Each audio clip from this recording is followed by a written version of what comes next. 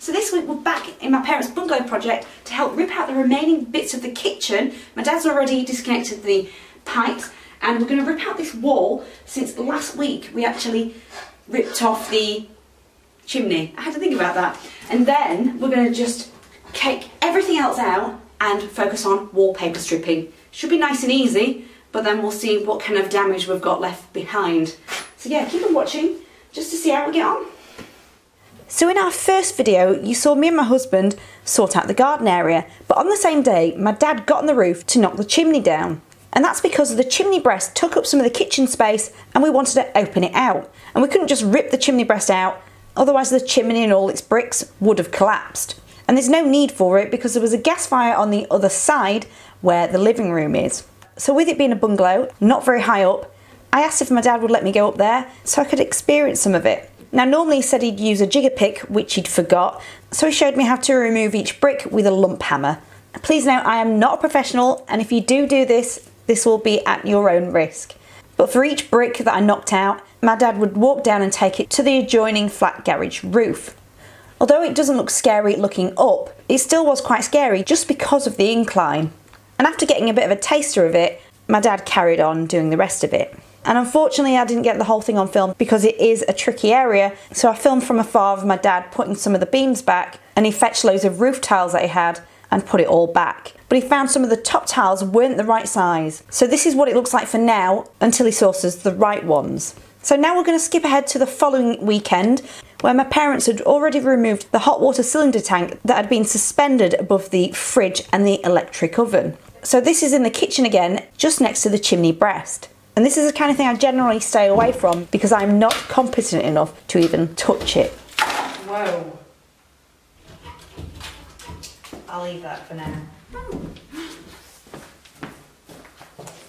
So I've come prepared this week. We've got camping chairs because there's nowhere to sit and a dog bed.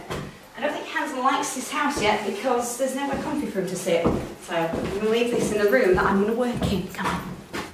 Hello. But before we started knocking out the chimney breast, we needed to completely clear the area, get rid of all of the last kitchen units. Everything was switched off, disconnected, made the electrics safe in here, and while I was there, I quickly removed the rest of the kitchen tiles with this SDS drill. This was definitely so much quicker than using the end of a hammer. In fact, in the wall cavity, I found loads of 1960s scrunched up newspaper. Then finally onto ripping the mortar off the bricks. And I used the SDS drill for this again, just chipping it away. Although yes, you should be wearing ear defenders and a mask. Unfortunately, because we're miles away from home, we kept forgetting to bring stuff with us, and I'm just taking things steady. And before my dad started removing the top bricks that were still in the loft, he asked me to remove the mortar around where the old gas pipes were here to the gas fire on the other side. And we worked on this area first so we could remove the flue.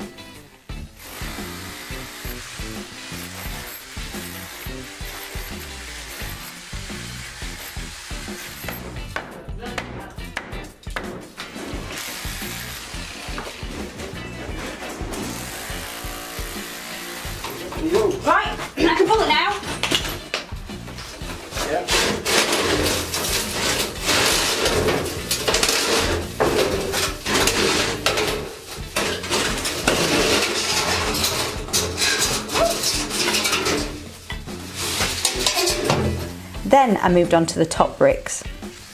And that's where I left it until the following week. But by this time we got into a rhythm, we brought our TV and decided to come back in our car rather than our big van.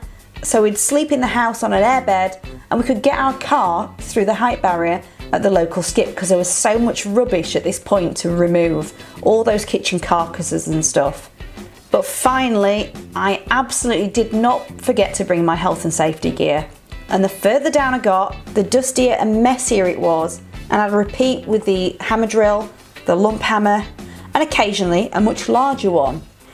It really is amazing how many bricks go into a fireplace and how much effort needed to go into this to create one extra kitchen unit space. And we also uncovered the original archway of the chimney and you can see vintage soot.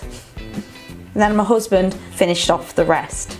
And I actually thought all of the bricks would be going to the skip. I hadn't realised that my dad was saving it all in a pile there's no mortar on these because we'll be using them again to build up a wall for an ensuite. Now just going back a bit, while my dad was making things safe, me, my mum and husband took the time to remove all the wood chip wallpaper.